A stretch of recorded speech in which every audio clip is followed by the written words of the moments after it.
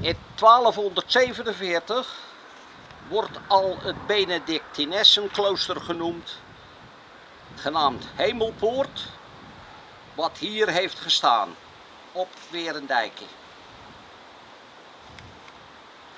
Daar is brand in geweest en is weer opgebouwd met hetgene wat na de brand over was. Ze waren armlastig.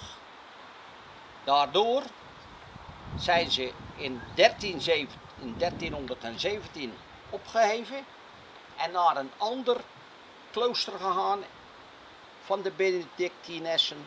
En dat stond in Sint-Jan ten bij Achterkerk.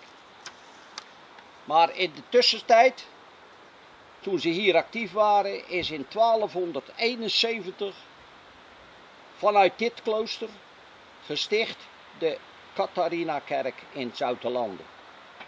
Die is vernoemd naar Catharina, de heilige Catharina van Alexandrië. Ook zijn er verschillende restauraties plaatsgevonden in die kerk. En met name in 1738, 1832, 1950 en de laatste in 2011. Dat we hier bij een kloostermuur staan, dat is een verhaal apart, omdat hier een klooster is geweest.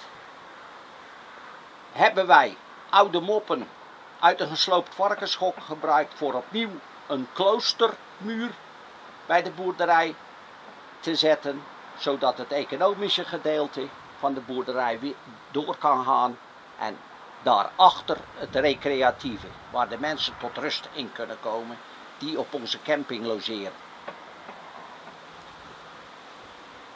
Die muur, die kost eigenlijk heel veel. Maar we hopen dat terug te halen door beter en intenser bezoek aan de camping.